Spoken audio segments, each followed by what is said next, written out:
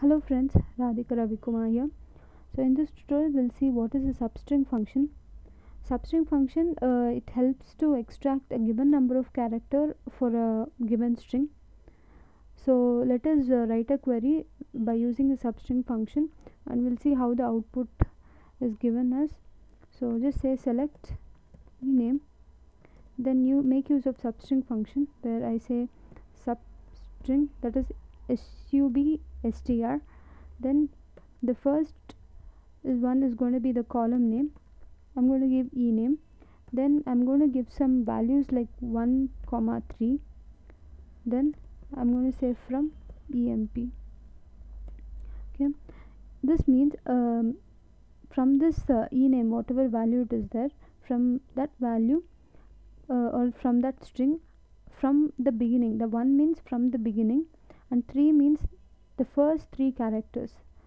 Beginning and first three characters should be displayed. So this will just uh, chop off everything except the from the beginning and uh, till the three characters. First second and third character will be given as the output. You can see it here. This are e name original name. And here you can see the beginning the first one j o h. Only the first second and third character given as the output so this is how the substring is uh, used. And also when I say for example when I say 3 comma 3 that means it will start from the third uh, position.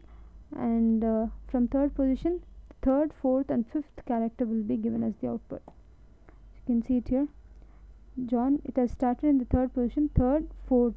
The fifth is not there so it has it has given as HN in the Johnny you can see N and Y is the output.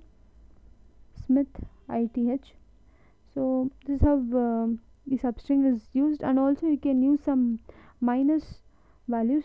That is for example when I say uh, e name minus 3 and 3 this is uh, nothing but when I say uh, this e name is um, the natural one like where you give the column name.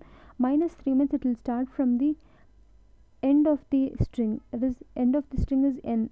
So from end of the string means this is going to be minus n is going to be minus 1 h is going to be minus 2 o is going to be minus 3 so from the minus 3 the three characters that means from o three characters o h n that is what the substring result is. So in the johnny you can see y is minus 1 n is minus 2 and again n is minus 3 from minus 3 three characters n and y. So you can is you can make use of uh, minus value also in the substring.